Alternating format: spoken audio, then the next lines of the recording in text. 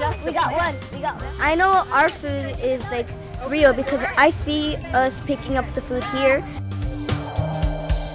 I want kids, I want people to be in touch with the soil because that's where the change comes from. If a kid grows kale, a kid eats kale. If they grow tomatoes, they eat tomatoes because now they have skin in the game.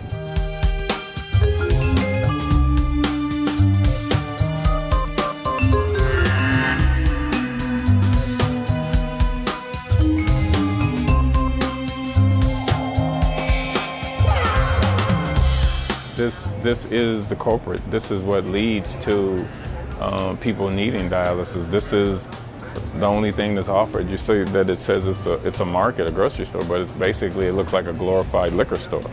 You know, I mean, these kind of foods are what leads to childhood obesity.